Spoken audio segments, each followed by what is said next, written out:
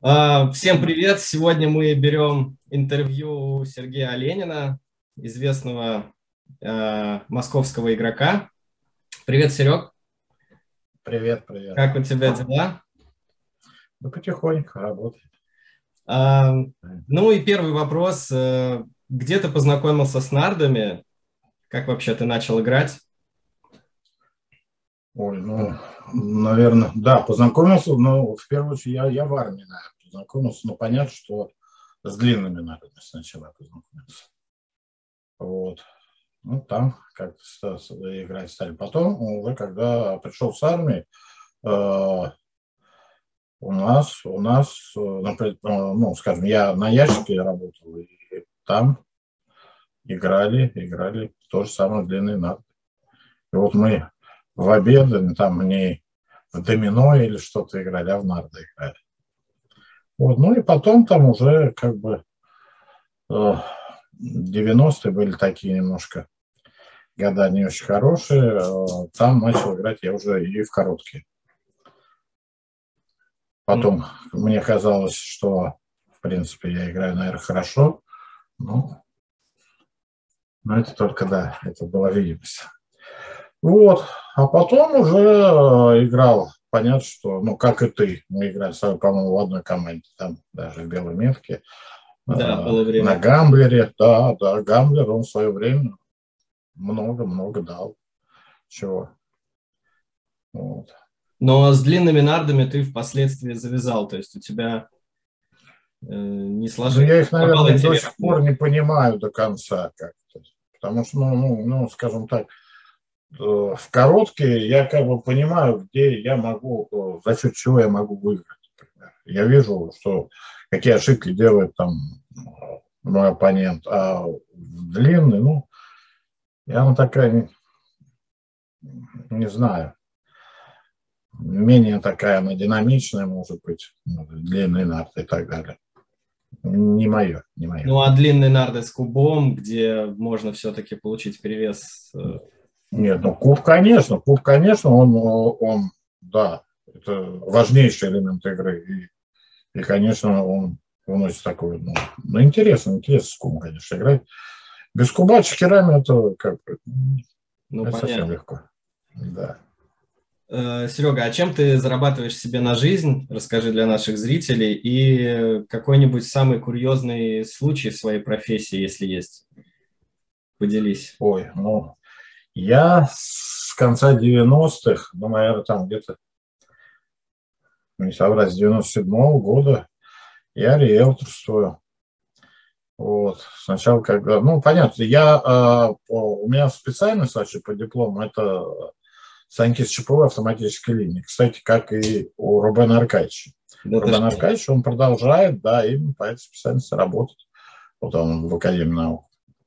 Но меня 90-е подкосили, как бы пришлось искать что-то другое. Знакомые, знакомые удивлялись, удивлялись, как я могу работать с людьми, потому что, по идее, я интроверт. Mm-hmm. Вот, меня сначала напрягало сильно, но потом как пошло, пошло. Вот. Потом стал и э, руководителем группы и так далее. Ну, потом потихоньку, наоборот, ушел ушел в ВП, вот, и работаю уже, ну, наверное, с четвертого или с седьмого или четвертого года я работаю на себя. Угу. Вот. А сильно ли подкосила пандемия вот в плане дохода? Ну да, конечно, конечно. Там, там во-первых, э, прекратилась регистрация сделки, э, не работали там и ни БТИ, ни МФЦ, никакие документы нельзя было. Ну, удаленные сделки э, можно было проводить. Понятно, что это, это сильно подкосило. Но, по-моему, еще э, более сильно подкосило, скажем так, спецоперацию.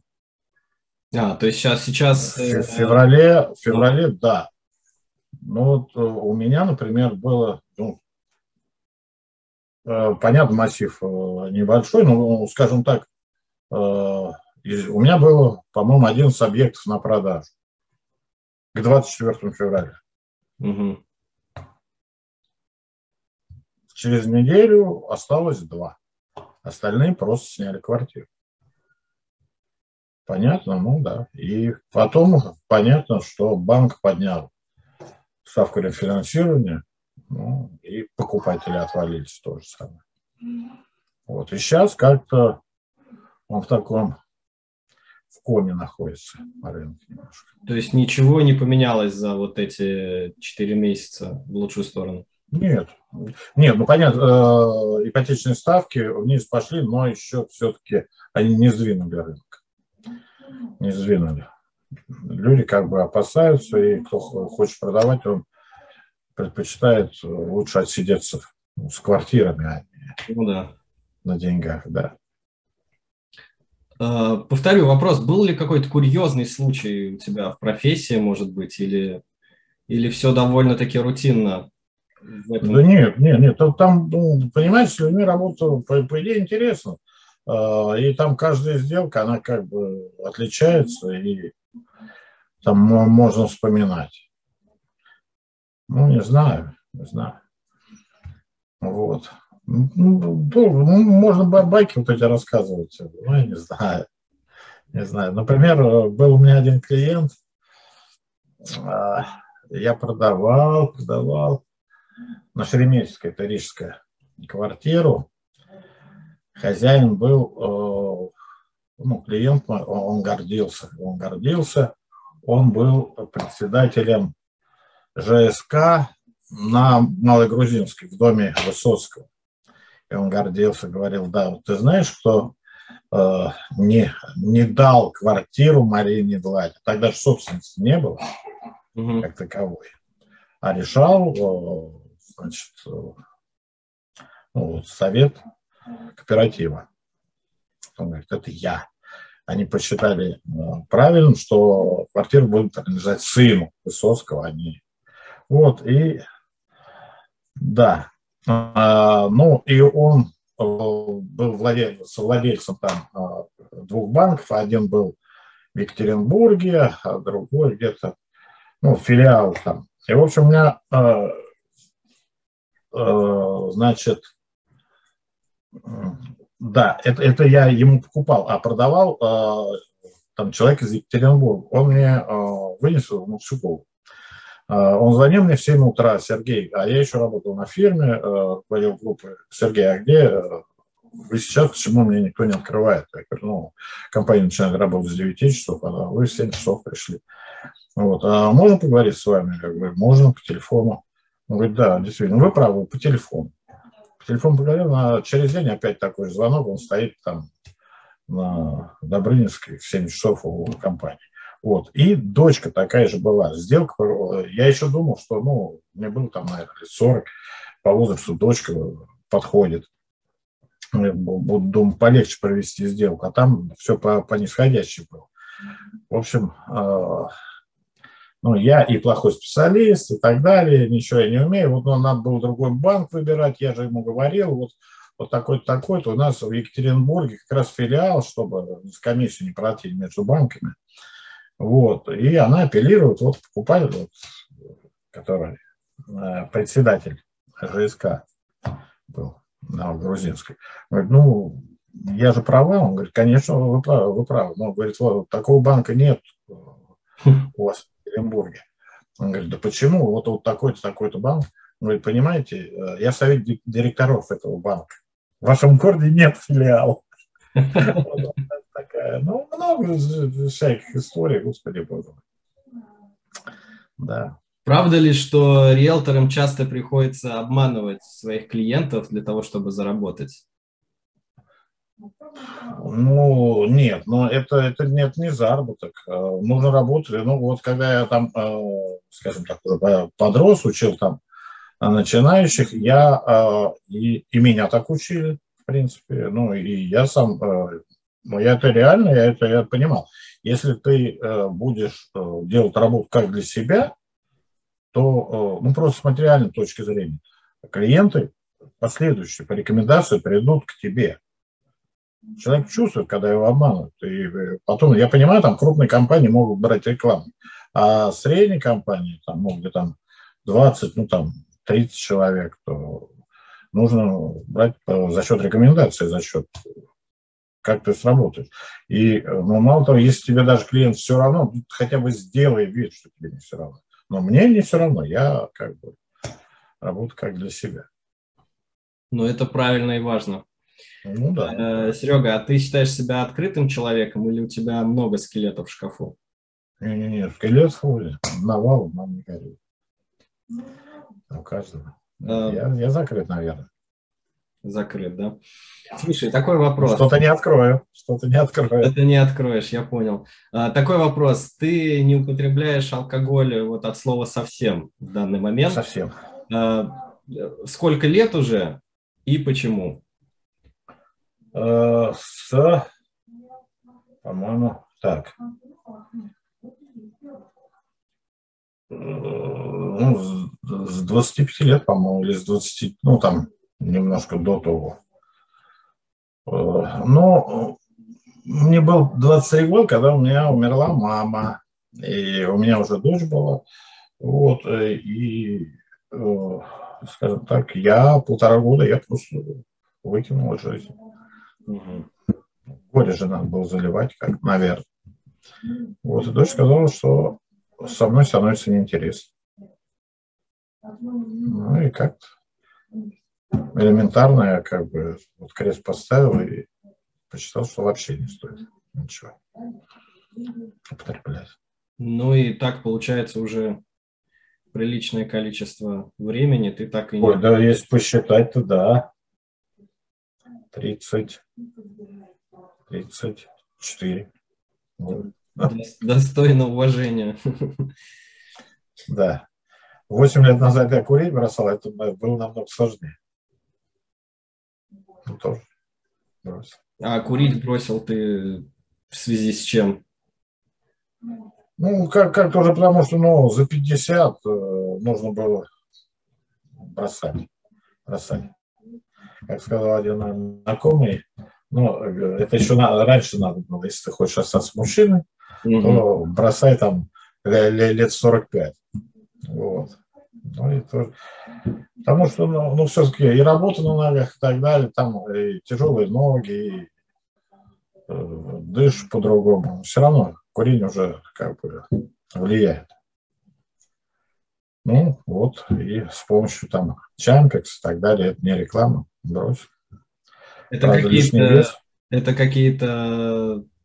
Э, да, таблетки, курс. А, таблетки. Курс, курс, курс таблеток. Да, я к кардиологу как раз ходил, там проверял сердце с нагрузкой, и он посоветовал мне пропить. Потому что я хотел, как я же считался волевым человеком, на, на, да, хотел волевым решением бросить курить, но, но что-то никак не получалось. Я, наверное, с 50 думал бросить, но бросил в 52. Ну, главное, что бросил, главное, что справился. Да, да, да. Нет, понятно, что лишний вес у меня всю жизнь был 76, сейчас у меня, пардон, 90. Но, но плюс все равно больше. Ну, конечно, конечно, согласен. А где ты любишь отдыхать и почему? Ну, скажем так, я в сентябре, в сентябре люблю отдыхать. Вот, это как бы продолжение лета, ну и там свои тараканы. Ну, там и, э, скажем, уже и не такой жары нет, и дети уже в школу пошли. Так что как там спокойнее. Я люблю на Адриатике в Черногории отдыхать. Вот я уже сколько? 11 или 12 лет туда каждый сентябрь езжу. Но в этом году, увы, увы. Ну, да, сейчас такие цены, что да, да, да, да. да. По сравнению э, с 2020 годом цены на билет э, изменились ровно в 4 раза. В 4. Чего себе. Да, и это, э, ну, получается, билеты дороже, чем сам отдых. Это как-то ну, немножко так. Ну да, согласен, не очень. Да, да, да. Сергей, смотри, у тебя много довольно-таки татуировок, насколько я знаю. Сколько у тебя их и что они означают? Ой, ну, в 90-е там были сложно такое время, но вот где-то там и получаются татуировки. У меня на, на, плече, ну, ну, по идее, одна татуировка. Угу. История, история умалчивает. Да, да, да. Это все ошибки. А, если бы у тебя была возможность вернуться в прошлое, то что бы ты изменил в своей жизни?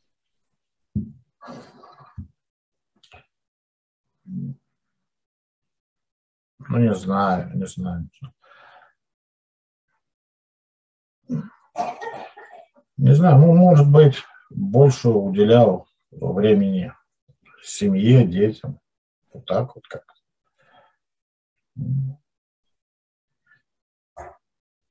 Не знаю. Давно это сложный вопрос такой. Это на каждый момент. Ну, то, тогда это молодость, сейчас уже такая зрелость наступает.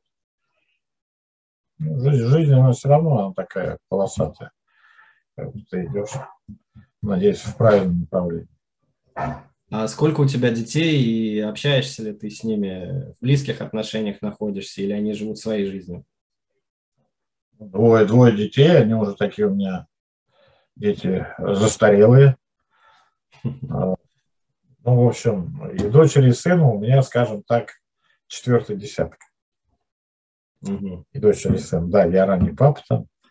Вот, и понятно, что да,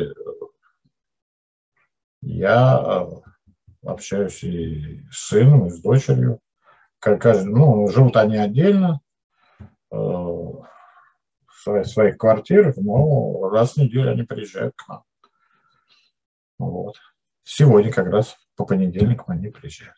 Но это важно. Ночевкой, да. Что контакт да, да. сохранен. А во сколько лет ты стал отцом, получается? В 20. Угу. Ну вот я на год позже. Ну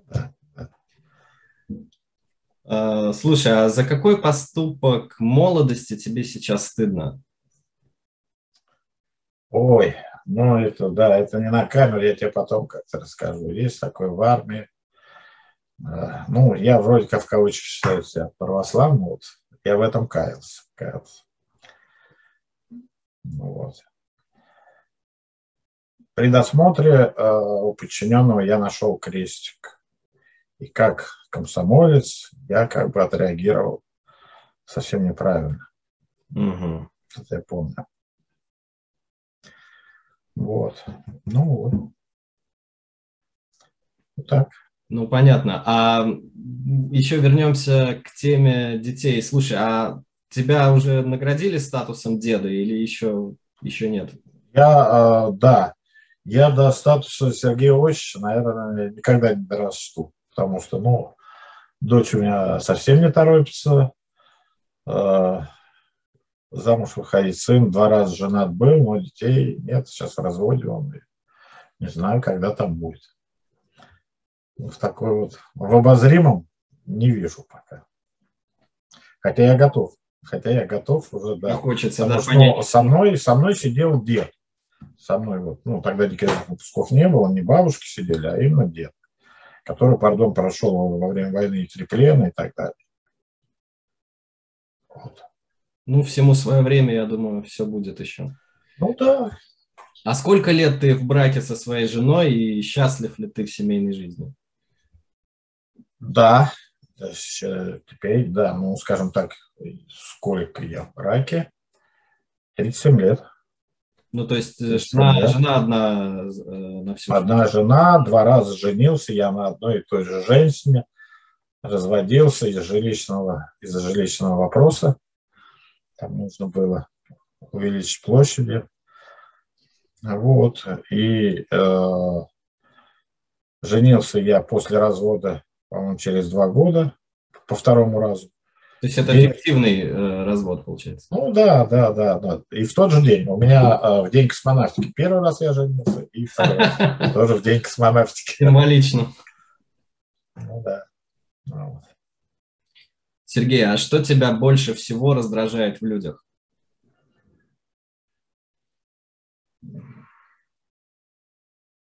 Не знаю, наверное, глупость, снобизм. Ну и непорядочность, предательство тоже, конечно, это вот это есть. А что ты больше всего ценишь в людях? Какое качество? Ну, я не знаю, ну, наверное, а, честность, порядочность, умение любить. Когда ты любишь, ты не можешь плохого ничего сделать. Ну, в широком смысле слова любить. Так. Ну, давай вернемся немножко к теме нарт. Э, такой давай. вопрос. Почему ты не участвуешь в турнирах Федерации спортивных нарт России? Ну, ты, ты, ты знаешь, э, произошел там, по-моему, в Питере, когда там у нас чемпионат проходил Мер, Мер, Мерта по футболу в Питере. Да-да-да, ну, такой, да, ну, некий конфликт с федерацией. И, ну, я, э, скажем так, э, я не понял Эльдара просто, может быть. Может, он и прав был, но я считаю, что Э, вот его поступки были неверны. И как бы мы с ним были в очень хороших отношениях. Э, я помогал, чем мог э, федерации. Он мне помогал очень. То же самое в каких-то моментах. И моему сыну. Вот, ну вот, как -то.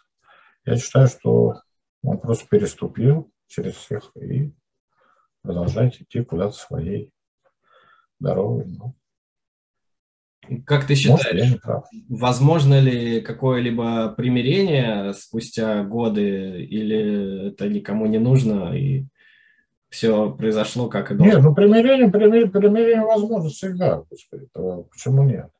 Что для этого должно ну, случиться и произойти? Я не знаю, но я почему-то, ну, ну на камеру я не хочу наших, копаться, скажем, ну, Например, я и Черков, и Ерохин почему-то стали не рукопожатными. Ну, ради бога.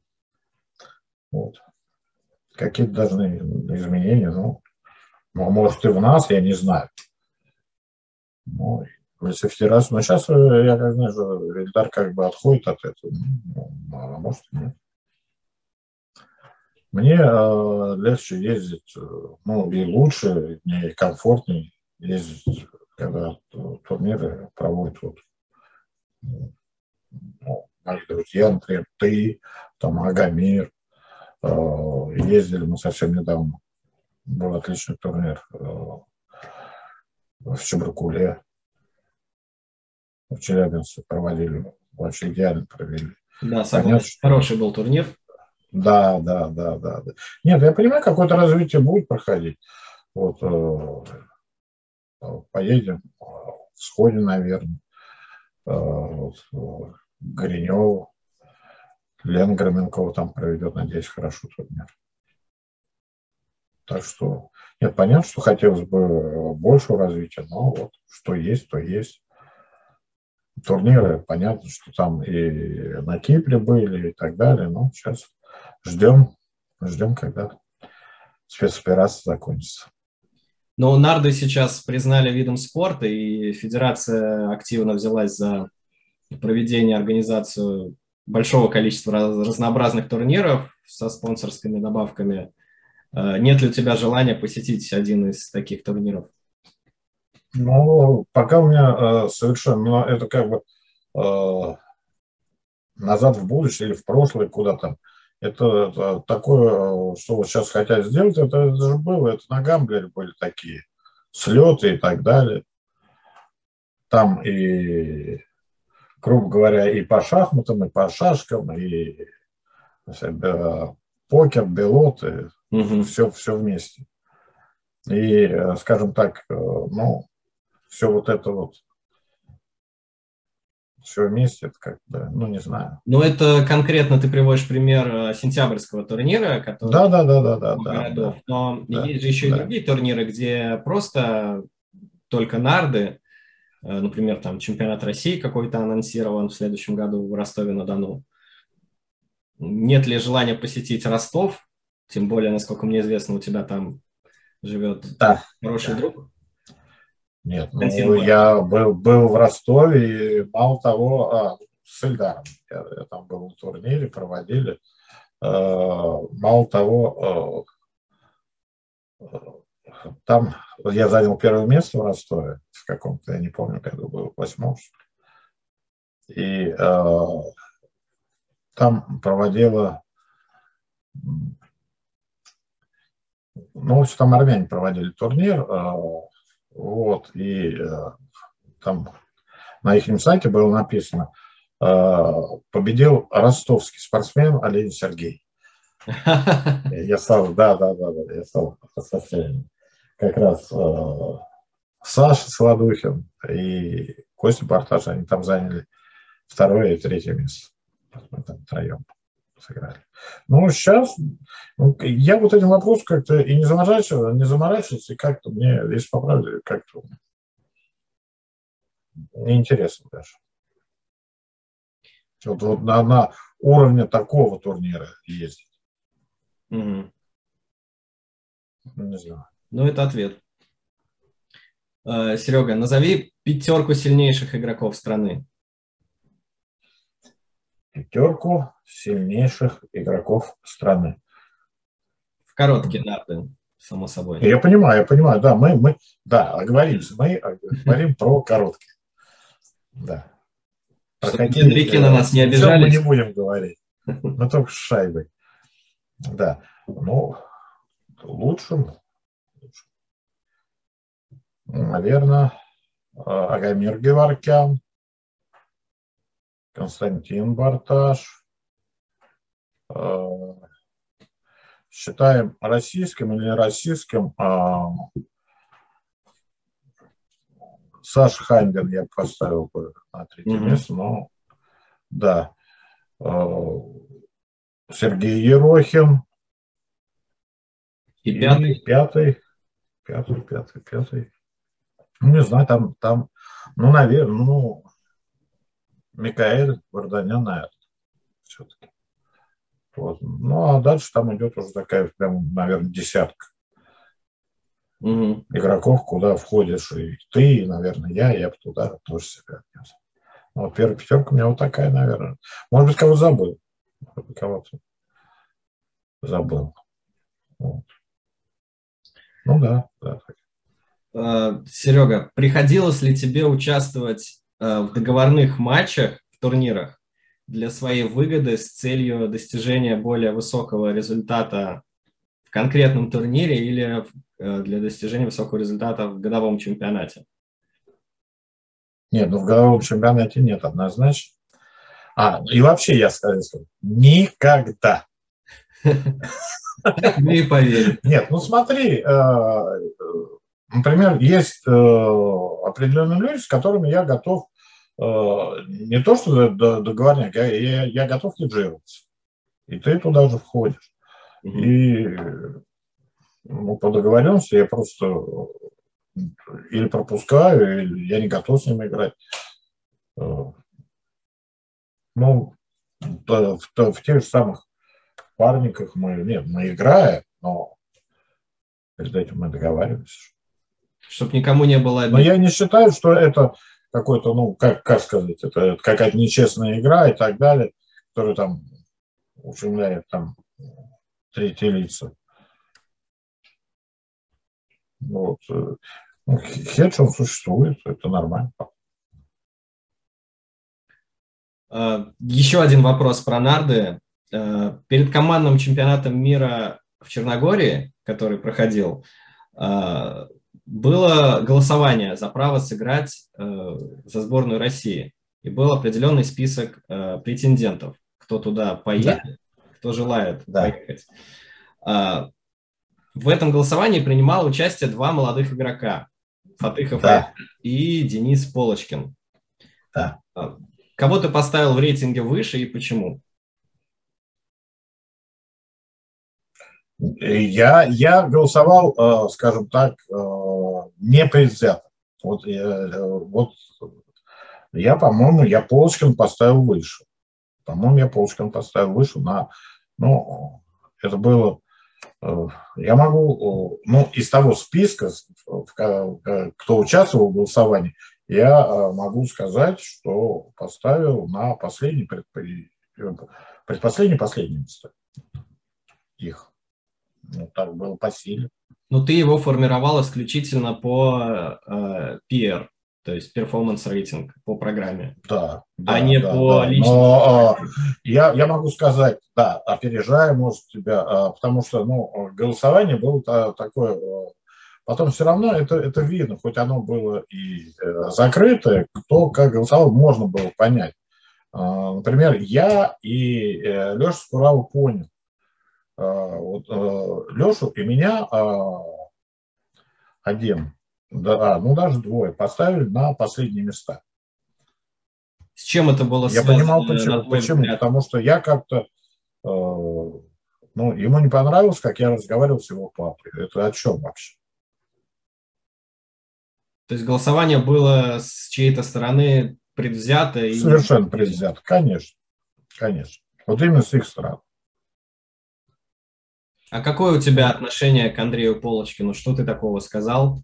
Что это... Не, ну мы выросли в одном месте, у нас просто э, немножко разные взгляды на жизнь. Ну, э, когда э, мы как с ним разговариваем, ну, не знаю, может быть, сыну, может быть, казалось, что я как бы э, грубо разговариваю. Ну, это, это не так. Я, я к нему очень, очень э, ну, ну, э, мне не, скажем так, плохо относиться к нему, ну, нет ничего, никаких поводов.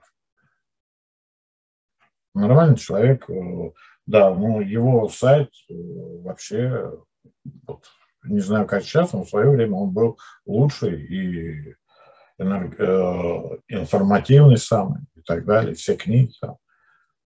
Только плюсы, но я понимаю, как игрок не игрок, пардон.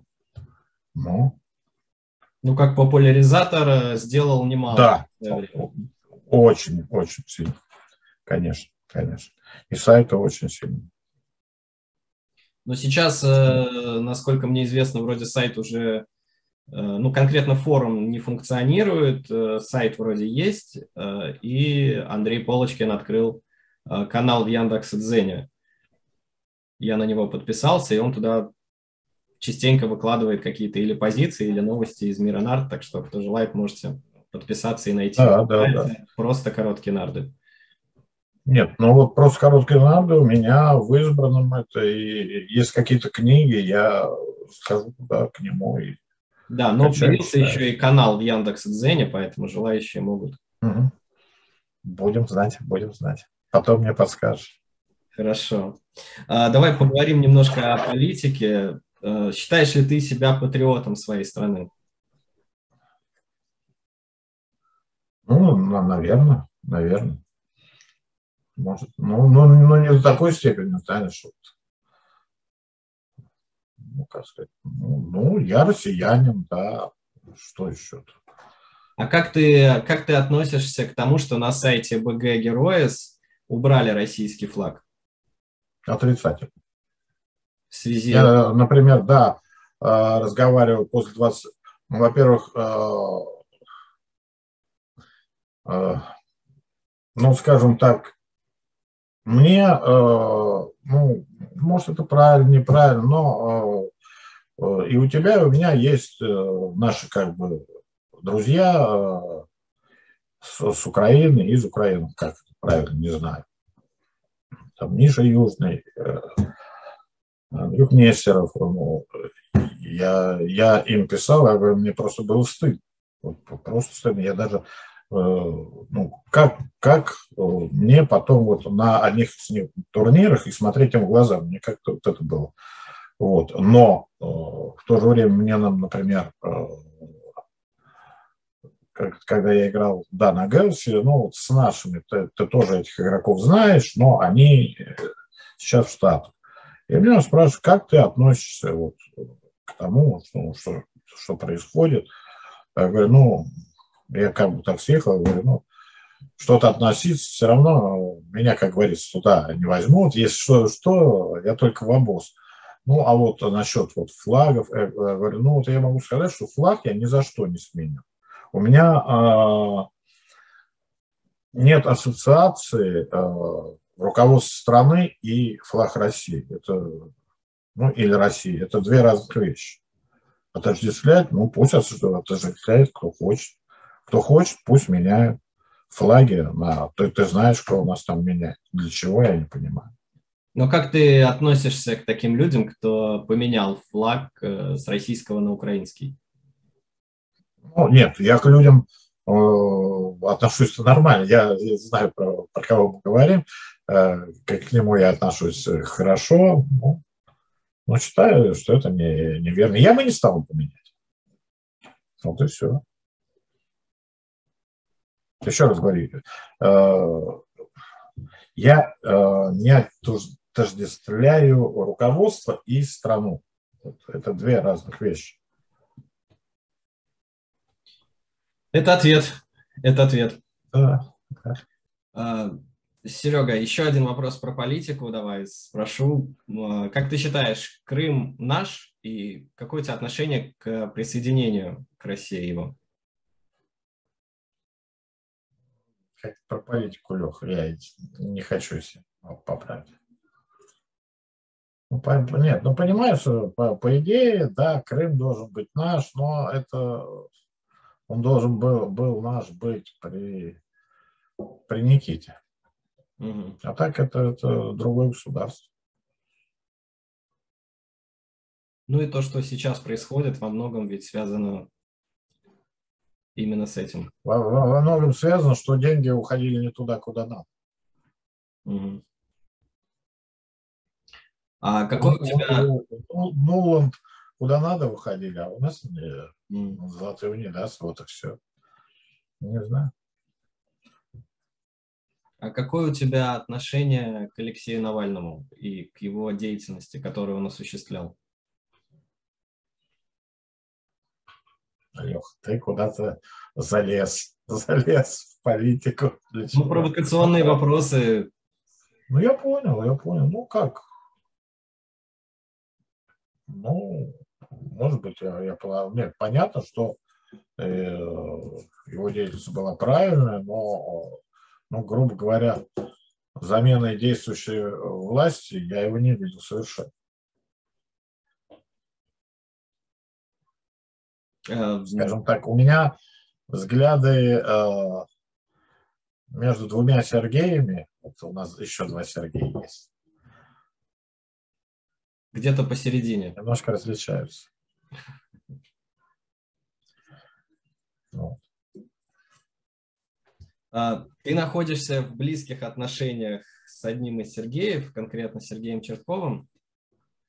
А, как ты считаешь, какой его главный недостаток и какое его главное достоинство как человека? Нет, ну, недостаток, ну, он, он, понятно, что это, мы все знаем, он достаточно сложный человек, как, как говорится, кто-то мне еще говорил, Сергея Иосифовича надо поднять, поднять и принять. Я, я его понимаю, я так считаю, и принимаю. И э, я его просто люблю. Да. Нам же предлагали, э, э, да, не предлагали, а расставили. Говорит, ну, извините, у нас вот нет общей кровати, только две раздельные. О чем может быть дальше речь? Вот. А, ну, во-первых, он интересный человек. Это, ну, согласись. И, э, ну, и, скажем так, он, он все-таки, э, все-таки, ну, не знаю, он такой честный товарищ. Честный товарищ любит так, правда, матку порезать и так далее. В нем нет э, какой-то вот такой вот гнильцы, что ли. Не знаю. Нет, я, я рад, что он мой друг. Вот. Согласен. С ним мне Согласен. понятно, что да, поругаемся, но мне с ним по кайфу. Давай перейдем к Блицу. Я задаю вопрос, Давай. и ты коротко выбираешь один из двух вариантов. Так, а если вариантов нет? Ну, значит, вариантов нет. Давай. Вариантов нет. А, Путин или Навальный?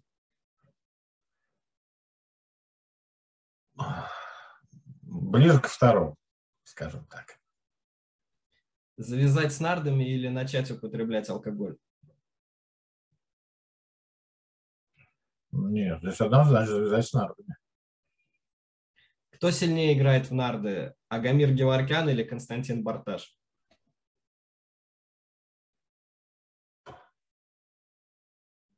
Ну да, да. Ну, а, скажем так, а, офлайн, я думаю, все-таки, ну, при, при том, что у Кости там пиар может быть и пониже, но я ставку сделаю на Агамер все-таки. Хотя а, один раз моя ставка не сыграла, я в Костю не поверил, а он взял супер джекпот на Красной Поляне. А если онлайн, то поставишь на Константина, соответственно. Ну, ну, я не знаю. Я не знаю, тут ну, может быть, может быть. По идее, они, ну, я не знаю, как это равно, равноценно. Я понимаю, что ты специально так приводишь, ну да. Но в живой игре э, на Агамир. Вот так я скажу. Но для тебя эти два игрока являются сильнейшими среди всех. О, да, да, да, да, да, это, это не обсуждается. Понятно, что мы с тобой тоже, наверное, как-то что-то можем, но они так на ступеньку. Как, как Рубен Аркадьевич ставит, ставит, говорит, э, галактический мастер. Да. Вот, вот они. Да сказать правду и перестать общаться с человеком или соврать и сохранить отношения? Ну, нельзя сказать э, соврать, можно как-то умолчать. Наверное, сохранить отношения. И финальный вопрос. В чем сила? В правде. Сила в правде. Ну, или, может, э, в пиаре, как считаешь? Возможно, и в том, и в том. Да. Серега, спасибо большое, что согласился дать интервью. Было приятно с тобой побеседовать на разные темы. Взаимно, взаимно. Так что, надеюсь, люди посмотрят, оценят, поставят лайки, прокомментируют. Ну да, да. Анти антилайки не надо. Надеюсь, да. Ну и до новых встреч. До новых встреч, да. Пока-пока. До встречи в сходе. Счастливо. Счастливо.